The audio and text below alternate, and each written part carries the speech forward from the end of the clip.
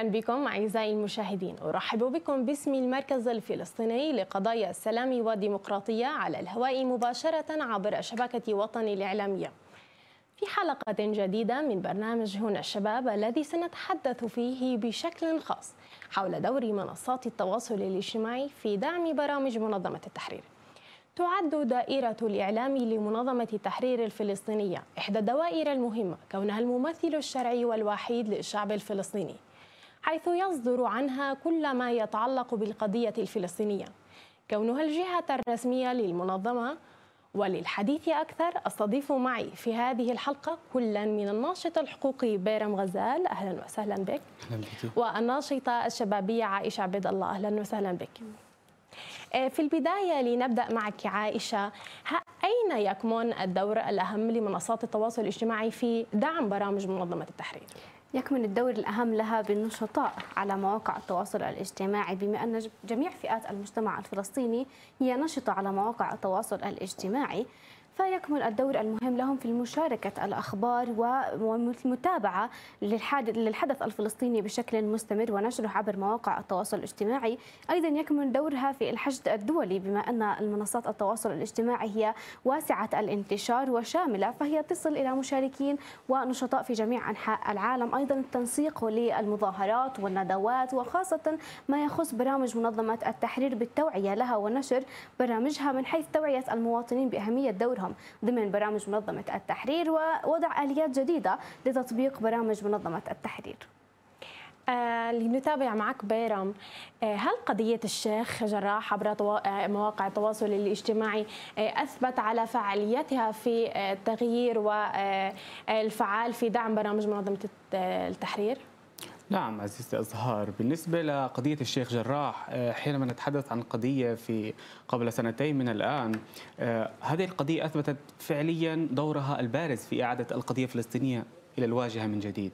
كيف يكون ذلك؟ إلى أنه قضية الشيخ جراح سلطت الضوء على الانتهاكات اللي يمارسها الاحتلال في مدينة القدس وباقي محافظات الضفة الغربية. حيث أنت لك أن تتخيلي أن قضية الشيخ جراح والتي كانت عبر وسم أو هاشتاج أنقذوا قضية الشيخ جراح كما تعلمي تصدرت المراتب الأولى في عدد من مواقع التواصل الاجتماعي حتى أنها تصدرت المرتبة الأولى عبر تويتر لعدة أيام لكونها نشرت في عدة لغات. هذا أولا.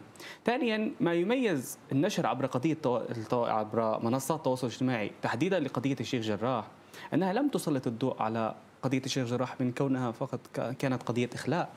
إنما سلطت الضوء على الجرائم أو الانتهاكات التي يقوم بها الاحتلال الإسرائيلي وهي التي تعتبر بمثابة اللي هو التطهير العرقي منذ 75 عام منذ النكبة وحتى الآن يمارس علينا كفلسطينيين. فالعبرة في ذلك أن من خلال قضية الشيخ جراح وما توصلنا له أنه أدى إلى تعزيز دور برنامج منظمة التحرير.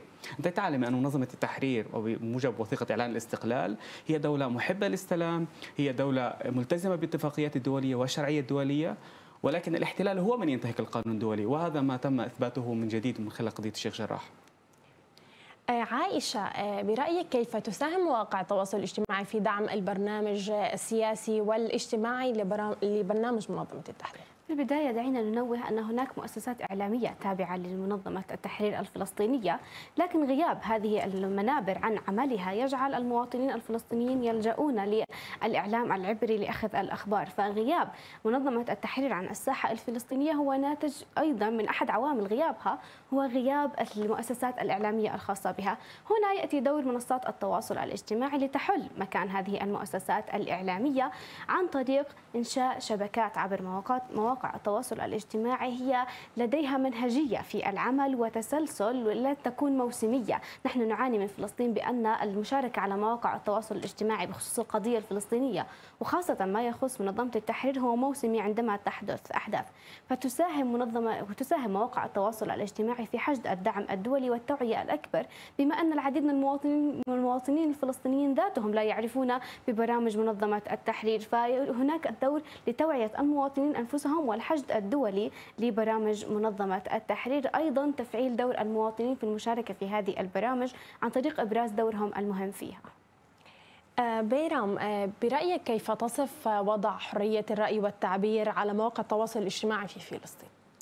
بشكل عام حرية الرأي والتعبير الآن هي ممكن أن نقول نقول إنها تتأثر بالتوازن هش ما بين إنه حق حرية التعبير كحق أساسي دستوري، هذا الحق نظم بداية في الاتفاقيات الدولية اللي انضمت لها فلسطين نحكي إحنا عن الإعلان العالمي لحقوق الإنسان عن العهد الدولي لحقوق السياسية والمدنية اللي هي بنقول لها الشرع الدولي لحقوق الإنسان. هاي كمان ماده 19 حكت عن هذا الحق. وأيضا القانون الأساسي الفلسطيني بالتأكيد أيضا نعود إلى وثيقة إعلان الاستقلال الفقرة 12 أكدت حرية التعبير أما على الجانب الآخر مع التعقيدات أو التقييدات القانونية أو السياسية أو الاجتماعية. حرية الرأي والتعبير فعليا إحنا لا يمكن أن نقول إنه ليس هناك حرية رأي وتعبير في فلسطين، ولكن أيضا لا يمكن أن نجزم بالقول أنها حرية الرأي والتعبير بدون قيود. فعلى صعيد حرية الرأي والتعبير هناك العديد من الممارسات ممكن إحنا نرصد هذه الانتهاكات التي تمارس على حرية الرأي والتعبير، فمثلا على صعيد الانتهاكات التي تقوم بها الاحتلال من خلال إنه يقوم بتقييد أو حظر المحتوى الفلسطيني وبمثابة تضييق الخناقة حرية الرأي والتعبير على نشطاء الفلسطينيين عبر مواقع التواصل الاجتماعي. بالنسبة لبعض الممارسات التي تقوم بها السلطة الفلسطينية مثلا من خلال إما بعض السياسات أو بعض القوانين عندنا بعض القوانين التي تضيق أو تقيد حرية الرأي والتعبير منها القرار بقانون كما تعلم بشأن الجرائم الإلكترونية أيضا من خلال السياسات بعض الأحيان قد يتعرض النشطاء من خلال تعبيرهم عن آرائهم إلى التهديد أو الاعتقال أو ما إلى ذلك على خلفية تعبيرهم عن رأيهم. أو سياسة مثلا ممكن أن لا يتم اعتقال أو معاقبة هذا الشخص ولكن ممكن أن يتم آه، مثلا التضييق عليه بالخناق أنه منع عن تولي بعض الفرص نتيجة أنه هو ناشط ويعبر عن رأيه. هذه هي الإشكالية تعبر عنها. إذا بشكل عام حرية الرأي والتعبير آه، نعود بفلسطين نحكي أنها هي ليست كما تم الاتفاق عليه أو تم آه، وضعه في برنامج منظمة التحرير تحديدا البرنامج الاجتماعي والبرنامج السياسي والمدني فمثلا الفقره 12 من وثيقة الإعلان الاستقلال والتي تعتبر هي أساس وعمود فقري لبرنامج منظمة التحرير أكدت على حرية الراي التعبير الفلسطيني. آه، في ظل غياب دور وزارة الإعلام لمنظمة التحرير، هل ذلك يؤثر على حرية الرأي والتعبير فيها؟ بالتأكيد، إحنا بنحكي عن وزارة الإعلام هي من دورها آه، أنها تقوم بالتعبئه والتنظيم أو بمعنى التثقيف السياسي لكافة أعضاء أو كافة المواطنين الفلسطينيين، إحنا حاليا بنعاني إنه حتى على مستوى طلبة جامعات أو على مستوى صناع قرار وللأسف بعض المفردات أو الأبجديات في منظمة التحرير الفلسطينية لا يعلمون. وإحنا ممكن نتلمس هذا الحكي لما تتحدث مع أحد الأشخاص إنه أنت تعرف شو الدور الحقيقي لمنظمة التحرير؟ ما بعرف، طب شو الفرق بين منظمة التحرير والسلطة الفلسطينية؟ ما بعرف، طب منظمة التحرير حاليا هي متى مثلا حصلت على اعتماد أو مثلا أصبحت الممثل الشرعي والوحيد؟ شو مين أجهزة منظمة التحرير؟ هذا كله ليس فقط دور وزارة الإعلام، هذا ممكن دور الأحزاب السياسية أيضا، دور حتى بالمناهج الدراسية لمستوى المدارس أو في الجامعات، لا يوجد هناك مساق واحد يتحدث عن منظمة التحرير أو الأجهزة أو دورها الحقيقي التي تقوم به. يعني هنالك تأثير بدور دائرة نعم الإعلام لمنظمة تأثير. التحرير على حرية الرأي هناك تأثير وهناك أيضا ضعف في عملية التوعية للمواطنين الفلسطينيين اللي نتابع معك عائشة آه، ما هي أهمية صحافة الوطن المواطن في فلسطين وكيف آه، يمكن أن نتعامل معها لنخدم برامج منظمة التحرير؟ في البداية دعينا نعرف ما هي صحافة المواطن وهو الإعلام الذي يخرج من قبل المواطن وكما تحدث زميلي بيرم بأننا نتحدث عن حرية الرأي والتعبير. فإذا أردنا أن نتحدث عن صحافة مواطن نحن نتحدث عن وجوب وجود حرية رأي والتعبير لأننا في فلسطين يعني يعني المواطن الفلسطيني معرض في أي لحظة لأن يكون إعلامي بسبب كثرة الأحداث التي تحدث أمامه الانتهاكات المستمرة. نرى الكثير من رصد الحالات إطلاق الرصاص المباشر على المواطنين يقوم بتصويرها المارون في الشارع. فهذه الفيديوهات وصلت لأعداد مشاهدات عالية لدعم دولي أيضا بسبب ما قامت بتصويره المواطن. فصحافة المواطن هي جزء لا يتجزأ من الشعب الفلسطيني لأن كلنا إعلاميين في ظل الأحداث التي تحدث حولنا.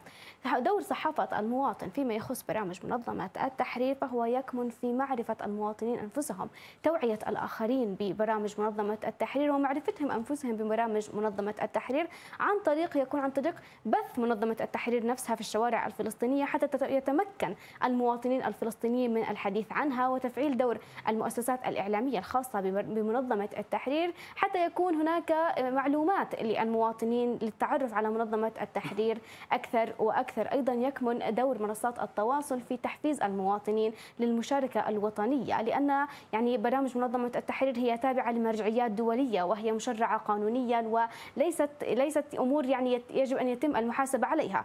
لكن في فلسطين من قبل السلطة الفلسطينية من قبل حركة حماس من قبل الاحتلال الإسرائيلي يتم الاعتقال ويتم التهديد بسبب مشاركة الآراء على مواقع التواصل الاجتماعي. هذا يدفع المواطنين إلى العزوف عن مشاركة حقهم كأن يكونوا صحفيين وإعلاميين لما يقوم لما يتم حولهم. الكثير من الناس التي نشرت فيديوهات لحالات الاعتداءات والانتهاكات الإسرائيلية تم سحب أجهزتهم وتم التحقيق معهم نتيجة لهذا النشر فيكمن دورهم المهم في تحقيق الحماية لهم حتى يتسنى لهم ممارسة هذا الدور بشكل فعال.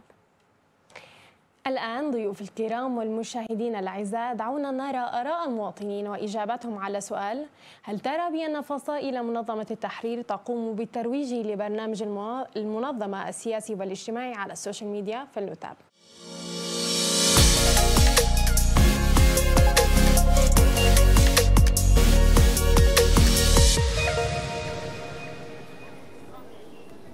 لا ما عمري شفت لهم بوستات على ال social media. ما بعرفش ما عنديش فكرة. والله أنا بالنسبة لي يعني منظمة التحرير يعني بسمع فيها يعني سمع أما أما أتعمق فيها أو شيء ما عمريش يعني إني تعمقت. أكيد طبعا لأنه إحنا كجيل أغلب وقتنا بنكون على ال social media. فيعني بيطلع لنا أكثر من شيء فبالتالي برنامج منظمة التحرير له دخل في هذا الشيء بنعرضه للاشياء اللي بيعرضها من ال infograph وإلى آخره.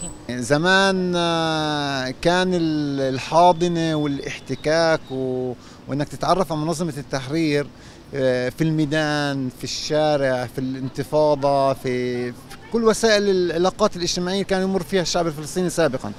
أما حاليا أنا بدي أجي أتعرف على منظمة التحرير عن طريق التواصل الاجتماعي شو ما كان آه، تفاعلي معاها مش راح يكون بناء أو جذاب أكثر كسابق كالسابق في الزمن السابق يعني. ال social media هي أصلا صارت طريقة توصيل أي شيء سواء سياسي اجتماعي ثقافي أي شيء صار عن طريق ال social media. فهم يعني راحوا باستثمار هاي الطريقة يعني هذا المجال ال social media لحتى يقدروا يوصلوا لأكبر شريحة من المجتمع.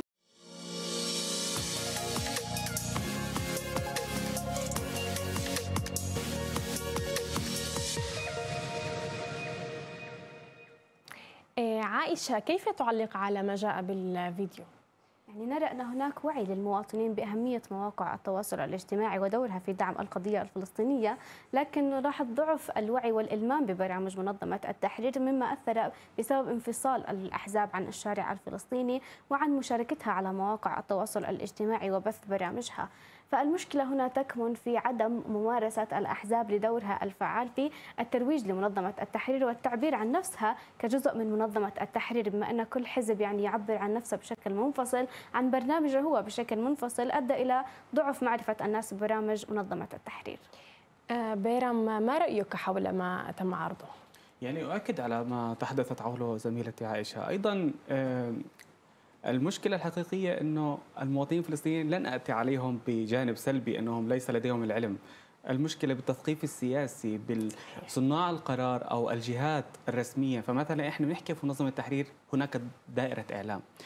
المفروض من دائرة الإعلام أنها تكون مسؤولة عن تعزيز الوعي في كافة الجهات في القضايا الوطنية وفي برامج منظمة التحرير. فما نراه الآن عبر الفيديو ما هو إلا نتيجة طبيعية وسيزداد سوءا إذا تبقى الوضع كما هو عليه. أيضا المناهج الدراسية الطلبة الحاليين أنا أركز على المناهج الدراسية أن الطلبة في المدارس خلال كافة الوحد الدراسية لا يوجد جزء خاص يتعلق بمنظمة التحرير هذا أيضا يعتبر كارثة فهذا الدور يجب أن يتم إصلاحه والعمل عليه. برأيك هل تعاني منصات التواصل الاجتماعي في فلسطين من عدم وجود قانون يضمن الحق في الحصول على المعلومات؟ صحيح أزهار آه، إحنا في الواقع الفلسطيني وتحديدا منذ عام 2005 آه، نطالب بأن يكون هناك قانون يضمن أو ينظم الحق في الحصول على المعلومات ولكن حتى الآن لم يكن هناك أي قانون رغم عدة محاولات تشريعية سابقا في عام 2013 كان هناك مسودة تتضمن آه، قانون الحق والوصول للمعلومات على أن يتم بالتعاون ما بين هيئة مكافحة الفساد والحكومة الفلسطينية على أن يتم تنسيبها ليتم إقرارها فيما بعد ولكن حتى الآن لم يتم إقرارها. آه، المشكلة الحقيقية أنه آه، حق الوصول للمعلومات يعتبر أحد أركان حرية الرأي والتعبير يعني إحنا لما نحكي حرية الرأي والتعبير لازم نعزز حق الوصول للمعلومات لأنه كيف المواطن الفلسطيني بده يجي مثلا يعبر عن رأيه عبر منصات التواصل الاجتماعي أو أنت بدك تروج لبرنامج منظمة التحرير ولكن أنت ما عندك بيانات تتضمن عن إيه، مثلا أداء الجهاز الحكومي معين أو كيفية صرف المخصصات. ما يدلل على كلامي إنه الحكومة الفلسطينية نسبت قانون الموازنة العامة لعام 2023 هذا ما أكده الفريق الأهلي لدعم مشففة الموازنة العامة.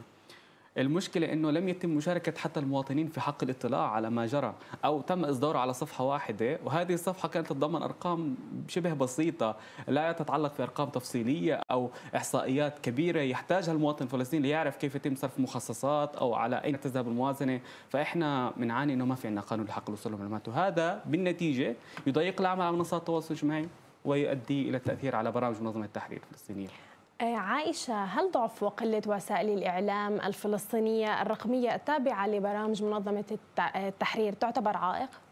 دعيني أنوه في البداية إلا أنه أصبح يوجد الآن مع تطور وسائل التواصل الاجتماعي والإنترنت أصبح هناك ما يسمى الدبلوماسية الرقمية وهي أصبحت جزء من المنظمات الدولية والوزارات. ودولة إسرائيل في عام 2015 احتلت المرتبة الثامنة في الدبلوماسية الرقمية لكن فلسطين كانت في المرتبة الثالثة والسبعين. فيعني نتحدث هنا عن غياب تام. لأصحاب القضية الفلسطينية عن الساحة منصات التواصل الاجتماعي التي يشغلها معظم السكان هذا العالم وليس فقط فقط الشعب الفلسطيني. فهو يعتبر عائق أساسي لأن من هو صاحب القضية الأساسي لا يشارك في طرح قضيته ولا يج ولا يدفع الناس للمشاركة في هذه القضية فهو يؤدي لغياب الشعب الفلسطيني كما رأينا بالفيديو غياب الشعب الفلسطيني عن برامج منظمة التحرير وعن أهميتها وغياب معرفتهم بأن في حياتنا اليومية نحن نطبق برامج منظمة التحرير. سيؤدي بالتالي إلى حاله الاغتراب ما بين السلطة الفلسطينية وما بين المواطنين بسبب عدم وجود عدم وجود هذه الفجوة التي تفصل بين المواطنين والقطاع الحكومي أيضا وبين منظمة التحرير التي تدفعهم إلى الانجراف نحو الإعلام العبري لأخذ المعلومات ولاخذ لأخذ المعلومات المعلومات ويعني نرى أن هناك النضال في فلسطين هو يتم فرديا وليس هناك تجمعات وليس هناك العملية النضالية ليست مرتبة ما بين المواطنين ليست موحدة. فاستمرار غياب منظمة التحرير ومؤسساتها الإعلامية عن مواقع التواصل الاجتماعي سيساهم في تشتت العملية النضالية أكثر وأكثر وسيساهم أكثر في صحافة المواطن بعد يعني بعدم وجود قيود وعدم وجود حدود لهذه الصحافة واستمرار الانتهاكات بحق المواطن. المواطنين والنشطاء على مواقع التواصل الاجتماعي. آه، بيرام هل ترى بأن القرار بقانون بشأن الجرائم الإلكترونية في فلسطين بصيغته الحالية يؤثر على آه، طبيعة عمل منصات التواصل الاجتماعي الفلسطينية؟ آه، بالتأكيد. القرار بقانون خليني أحدد هذا القرار بقانون اللي هو رقم 10 لسنة 2018 هذا لقى ملاحظات عديدة من عدة مؤسسات المجتمع المدني بداية. هذا القرار بقانون كيف أنا ممكن أشوفه إنه بيضيق الخناق على منصات التواصل الاجتماعي وبالتالي يؤثر على برامج منظمه التحرير على عدة مستويات، بداية تضمن هذا القرار بقانون أزهار عدة عبارات، هاي العبارات هي من شأنها أن تضيق الخناق على حرية الراي والتعبير، مثلا عبارات فضفاضة أو مصطلحات فضفاضة وردت في معظم المواد، فمثلا نحكي عن مادة 33 بتحكي إنه آه، كل من ارتكب جريمة إلكترونية حسب هذا القرار بقانون وكان من شأنها مثلا تهديد الأمن القومي أو خطر على النظام العام أو الآداب العامة. طب هاي المصطلحات الفضفاضة يجب أن يتم توضيحها. ما هو النظام العام؟ ما هي حدود النظام العام؟ آداب العامة صحيح. ما هي الآداب العامة في ظل دولة مدنية ديمقراطية كما أكدت وثيقة إعلان استغلال في فقرة 12 طيب هذه هذا بند أو هذا جزء على مستوى آخر. هذا القرار بقانون قيد حق الخصوصية. إذا أنا كمواطن بدي أعبر عن رأيي لازم يكون في عندي حق للخصوصية. هذا القرار أعطى صلاحية للنيابة العامة في ضبط الأجهزة اللي يتم فيها استخدامها لأي جريمة إلكترونية. وبالتالي قيد حق الخصوصية مع حق الحجب المواقع الإلكترونية. آه، تحدثنا عن أسباب عديدة عن دور منصات التواصل الاجتماعي. الآن دعونا نتحدث إلى التداعيات. عائشة ما هو تداعي انفصال الناشط الفلسطيني عن رواية الحدث كرواية وليس آه، كمرحلة وقضية مهمة؟ يعني يصبح الناشط ناقلا للخبر وليس مصدرا له. وبالتالي يجعلنا في حالة أن النشطاء على الفلسطينيين على مواقع التواصل الاجتماعي ليس جميعهم. فنشأ لدينا الكثير من الحملات التي أثرت بشكل مباشر على الاحتلال ومن ضمنها مقاطعة المنتجات الإسرائيلية. لكن مشاركة النشطاء الفلسطينيين على مواقع التواصل الاجتماعي هي ردة فعل وليس إنشاء للأخبار فهي موسمية. عندما يحدث هبات عندما يحدث شيء على أرض الواقع يعني تكون هناك المشاركة وتتفعل المشاركة على مواقع التواصل الاجتماعي. ودعيني أنوه لشيء مهم جدا هو أن ما يتم نشره على مواقع التواصل الاجتماعي لا يلغي النضال على أرض الواقع أو المقاومة على أرض الواقع لكن نحن نتحدث عن يعني أصبح أمر حتمي ومجبر على الشعب الفلسطيني ببث روايته وهو سيؤدي إلى زيادة وتضخيم الرواية الإسرائيلية في ذهون النشطاء النشطاء الدوليين. أيضا سيؤدي إلى اغتراب القضية بما أن صاحب القضية ذاته وصاحب المعاناة ذاته لا يشارك. ونحن في فلسطين نعاني من عدم مشاركة المرأة في مراكز صنع القرار من ضعف مشاركة الشباب وعدمها نصل إلى عدمها في بعض يعني في فلسطين لمشاركة الشباب في مراكز صنع القرار. فالمنبر الموجود لهم هو منصات التواصل الاجتماعي. إذا استمر نقل الفلسطينيين للحدث كحدث منفصل وليس سيؤدي لنظرة العالم لنا بأننا منفصلون عن هذا الحدث. يعني ننشر على هوانا ونحن عندما نكون متفرغين للنشر على مواقع التواصل الاجتماعي في حين أن الاحتلال الإسرائيلي يبث كل أجهزته وكل مواطنيه ويوظف العديد من المواطنين للاهتمام بالنشر والترويج للقضية. أيضا سيؤدي إلى استمرار نشر المواقع الإسرائيلية. يعني رأينا الفيديوهات على فيسبوك. يعني أصبحوا ينشرون فيديو يعني لحظات جميلة بين الشعب الفلسطيني وبين بين أهل بين الفلسطينيين في الداخل المحتل والفلسطينيين في الضفة والشعب الإسرائيلي أن هناك حالة من السلم الأهلي مما عزز النظرة الدولية لنا بأن هناك حالة سلام بين الإسرائيليين الإسرائيليين فعلا. والفلسطينيين بيرم هل آه، برأيك كيف يؤثر دعم الحقوق والحريات على تعزيز الوعي السياسي لبرامج منظمة التحرير عبر منصات التواصل الاجتماعي؟ يعني إحنا لما نقوم بتعزيز الحقوق والحريات يعني إحنا بنحكي إنه وثيقة إعلان الاستقلال تقوم على دولة مدنية ديمقراطية تقوم على احترام حقوق الإنسان وحرية الأقليات وأيضا العدالة الاجتماعية. أنا لما أعزز هاي الحقوق والحريات بالتأكيد أنا آه، بعزز مفاهيم السياسية لدى المواطن الفلسطيني. فمثلا لما أعزز حرية الرأي والتعبير وأعطي المواطن حقه بأنه يمارس حقه في حرية التعبير أو أعزز مثلا آه، حقه في الانتخابات. أنا بعزز شعور المواطن لدى هذا المواطن لأنه بيكون عنده حقوقه واجباته. هو بشعر إنه بينتمي لهي البلد وبالتالي هو ابن هاي البلد. تعزز صموده بالمواطن. يعني بحس إنه هو في مشاركة اجتماعية بالتأكيد على ما قبل ان تحدثت عنه مثلا حق الوصول للمعلومات. لو كان في مشاركة اجتماعية مع المواطنين فبالتالي راح يكون في نظرة مختلفة. أنت كمواطن فلسطيني بتعرف إنك أنت مش موجود عبث. أنا مش موجود فقط أنا بشارك في حياتي الاقتصادية فقط أنا بشارك في هذا أنا جزء فعال أيضا في المساءلة المجتمعية لأعضاء أو صناع القرار السياسيين مثلا. تمام. آه، برأيك بيرا ما هو أثر غياب الخطاب الفلسطيني الموحد لمنظمة التحرير الفلسطينية آه، على المستوى الفلسطيني وعلى المستوى الدولي؟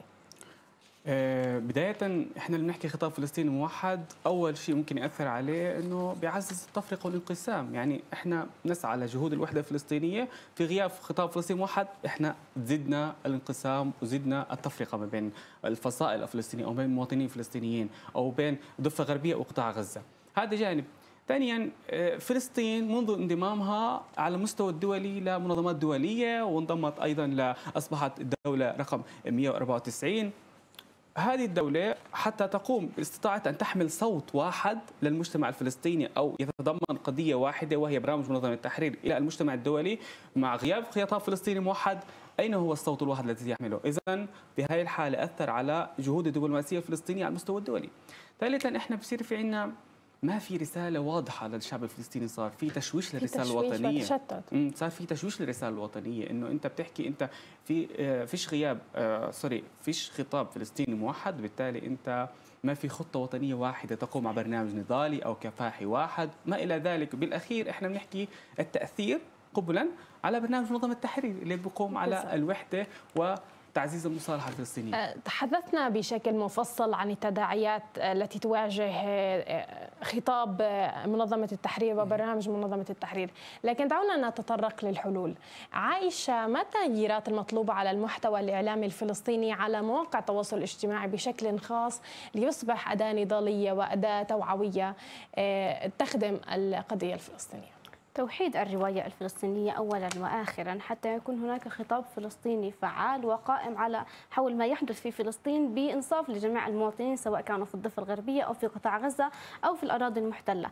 فبالتالي هنا نحن نحتاج للتغطية المستمرة وليس نحن بحاجة إلى أن نكون موسميين وأن نكون ردة فعل لا أن نكون ناشئين لهذه الأخبار والتغطية الإعلامية. أيضا نحن بحاجة إلى تضامن المؤسسات الإعلامية وتعاونها مع النشطاء على مواقع التواصل التواصل الاجتماعي إضافة إلى إتاحة حرية الرأي والتعبير حتى يتسنى للمشاركين المش... يعني النشطاء المشاركة. يعني لن يكون الشعب الفلسطيني بين مطرقة الاحتلال ومطرقة المحاكمة السلطة الفلسطينية والحكومة في قطاع غزة حول ما يتم نشره. نعطي الحق للمواطن في نشر ما يريد ضمن حدود لكن يعني اعطاء الحرية في النشر آه، في الخاصه بالمعلومات التي تخص الاحتلال والمعلومات التي تدعم برامج منظمة التحرير أيضا يكمن الدور الأهم على الأحزاب على الأحزاب السياسية من من خلال قنواتها الإعلامية من خلال مؤسساتها الإعلامية أن تنشر برامج التح... منظمة التحرير وتفعل دور المواطنين عن طريق توعيتهم عن طريق القيام بأنشطة على أرض الواقع تشمل حملات ثم نشرها ورفعها على مواقع التواصل الاجتماعي ثم التجديد في نوعية في طريقة الطرح بما أن يعني مواقع التواصل الاجتماعي في تطور الإنترنت في تطور التكنولوجيا في تطور يجب على المحتوى المحتوى الفلسطيني أن يتطور ويرتقي إلى يعني هل الحالي. هل تعتبري ذلك توصية للأحزاب السياسية بشأن خطاب بالتأكيد على الأحزاب السياسية النظر لبرامج منظمة التحرير صحيح. أيضا الاهتمام بدورها على منصات التواصل الاجتماعي حتى يعني أن تكون جزء من حياة المواطنين الذين يستخدمون مواقع التواصل الاجتماعي بشكل مستمر آه، بيرام برأيك ما هي آليات تعزيز مضامين الرسائل الخطابية لمنظمة التحرير الفلسطينية الموجهة للعالم؟ يعني باستخدام منصات التواصل الاجتماعي إحنا في عندنا عدة مضامين. بداية إنه هي منصات التواصل الاجتماعي أنا بدعو إلى استخدام وسائل الاعلام سواء الحديثة أو التقليدية بما فيها منصات التواصل الاجتماعي، طبعا نحكي على المستوى العالمي والمستوى المحلي، من خلال وسائل الاعلام أنا بوصل رسالات خطابية موحدة لتتضمن إما قضايا وطنية أو قضية فلسطين بشكل عام أو برامج منظمة التحرير على شكل أبجديات. هذا من خلال منصات التواصل الاجتماعي. آه ثانيا إحنا كيف بنشوف إنه لها تأثير أيضا استخدام الجهود الدبلوماسية، إحنا عندنا جهود دبلوماسية فلسطين منذ أن انضمت إلى منظمات العديد من المنظمات الدولية، أنا يجب من خلال هذه الجهات الرسمية ان أنا أقوم بإيصال رسائل خطابية عبر هذه المنصات إلى العالم. بالتالي أنا كأني أوجدت رأي عام رأي عام خالق أو سوري خلق رأي عام داعم لقضية فلسطين أو داعم برامج منظمة التحرير آه، على المستوى الثالث أنا ممكن أنا أشوف إنه من خلال آه، منصات التواصل الاجتماعي أو من خلال دور منظمة التحرير العالمي صفتها ممثل شرعي وحيد للشعب الفلسطيني هي بتقدر إنها تقوم بناء شراكات أو تحالفات مع حركات اجتماعية أو مع مؤسسات أو مؤسسات حقوقية. من خلال هذه المؤسسات الحقوقية تنطلق إلى أن تقوم بإيصال رسائل خطابية موحدة لبرنامج منظمة التحرير آه، على المستوى الأخير إنه باستخدام منصات التواصل الاجتماعي كما قلت إنه أنا بقدر أوصل للجمهور العالمي يعني ما بركز فقط على فلسطينيين سواء الداخل أو الشتات أنا بركز أيضا على العالم. بيكون أوسع وأشمل. الخطاب بيكون أوسع وأشمل. أيضا أنت بتتيحي الحوار للشعب إنه أنت بشكل بالضبط أنت بتعطيه القدرة إنه يعبر. هي فعليا منصات التواصل الاجتماعي هي منابر حرة للتعبير الآمن أو خلينا نعبر عن رأي. هيك هي الأصل. وبالتالي انت لما تفتح النقاش أو الجدال حول قضايا وطنية انت بتعطي المواطن سواء فلسطيني أو ما إلى ذلك ان ينظر القضية من الاعلى وبالتالي هو بيقدر يشارك. فعليا انت وصلت رسائل خطاب للعالم الخارجي حول منظمة التحرير أو برامجها آه عائشة تحدثنا عن أدوار مختلفة لأحزاب السياسيه ومؤسسات المجتمع المدني والمؤسسات التعليمية لكن ما هو دور المؤسسات الإعلامية في رفع الوعي السياسي والاجتماعي لبرنامج منظمة التحرير؟ توحيد جهودها بالتأكيد مع بعضها البعض يعني المؤسسات الإعلامية كل منها يعمل. لوحدها ولكن توحيد جهود هذه المؤسسات عن طريق توعية النشطاء على مواقع التواصل الاجتماعي بأهمية دورهم في سرد الرواية الفلسطينية. وإذا أردنا نتحدث عن الرواية الفلسطينية ليست رواية ما يحدث في الشارع. الرواية هي الزمان والمكان وطريقة العيش وما يحدث مع المواطنين بشكل المستمر والتاريخ الذي كان لدى الفلسطينيين والذي لا زال يكتب. فيعني يكون الدور عليها في توحيد عملهم مع بعضهم البعض. أيضا إشراك المواطنين في العمل الإعلامي وتوعيتهم بأهمية دورهم. آه، بيرام آه، بشكل مختصر آه، كيف يمكننا كسب الدعم والتأييد العالمي والدولي في دعم برامج منظمة التحرير الفلسطينية؟ نعم هو يرتبط في السؤال أيضا الرسائل الخطابيه بشكل تحدثت عنه ولكن بشكل مختصر أريد التركيز على جزء معين. إنه منظمة التحرير من منذ عام 1974 وحتى الآن تحصلت على العديد من القرارات الدولية. نعم. من خلال هذه القرارات الدولية وخليني أذكر منها قرار 242 قرار 338 القرار 181 قرار 194 كلها جاءت لصالح القضية الفلسطينية. من خلال منصات التواصل الاجتماعي ومن خلال وجود منظمة التحرير في هذه المنظمات الدولية يجب تعزيز الوجود الفلسطيني للعمل على تنفيذ هذه القرارات الدولية وأيضا إصدار أو استصدار العديد من القرارات الدولية. بالتأكيد أيضا بعود لفكرة استخدام وسائل الإعلام الحديثة والمحلية والدولية لخلق رأي عام داعم لبرامج منظمة التحرير. ثالثا بناء التحالفات الميدانية مع المنظم عديد المنظمات الدولية والمؤسسات الحقوقية أيضا لإيصال الرسالة السامية لبرامج منظمة التحرير للوصول إلى الهدف الأسمى من منظمة التحرير الفلسطينية. عائشة تحدثت عن دور الأحزاب السياسية في دعم برامج منظمة التحرير. ما هي توصياتك الموجهة بشكل خاص للأحزاب السياسية وما هي توصيتك بما يتعلق بالحلقة؟ يعني توصياتنا للأحزاب كما تحدثت سابقا بأنه الاهتمام بمواقع التواصل الاجتماعي الاهتمام بمشاركتهم عبر مواقع التواصل الاجتماعي لدورهم ولما يقومون به بشكل مستمر. أيضا قيام الأحزاب نفسها لإعادة ثقة المواطنين بمنظمة التحرير وإعادة منظمة التحرير على الساحة عن طريق مشاركتهم من خلال مؤسساتهم الإعلامية وعن طريق مشاركتهم هذا الحديث عبر منصات التواصل الاجتماعي. بيرم ما هي توصياتك النهائية بما يتعلق بدور برامج منظمة التحرير؟ دور وسائل الإعلام لخطاب برامج منظمة التحرير. يعني أعتقد حتى تحدثنا هي معظمها على شكل توصيات ولكن يمكن أحدد على جانبين. أنا يجب أستخدم منصات التواصل الاجتماعي في توثيق الأحداث الجارية ومن خلالها أنا أعرض العديد من الصور والفيديوهات تتضمن برامج منظمة التحرير بشكل لافت ويصل إلى الجماهير. في العالم بشكل مجمع ثانيا ضرورة عقد آه، العديد من المؤتمرات أو الإعلانات الصحفية اللي بتتضمن آه، قضايا الوطنية لتعزيز الوحدة الفلسطينية وتعزيز برامج منظمة التحرير. والجانب الأخير اللي أنا بدي أتحدث فيه اللي هي آه، ضرورة التوصل إلى مبادرات لإنهاء الوحدة لإنهاء الانقسام وتعزيز الوحدة الفلسطينية. وفي الختام علينا أن نرتقي بالخطاب الفلسطيني لمنظمة التحرير على شبكات التواصل الاجتماعي بحيث يستند إلى قوة التأثير والإقناع والتفاعل. ويكون إعلاما يدعم المنظمة وبرامجها السياسية والاجتماعية وأن يكون خطابا مؤثرا على الصعيد المحلي والدولي. أشكركم أعزائي المشاهدين على حسن المتابعة. كما أشكر ضيفي هنا في الاستوديو المحامي والناشط الحقوقي بينام غزال شكرا لك. والناشطة الشبابية عائشة عبيد الله. شكرا لك.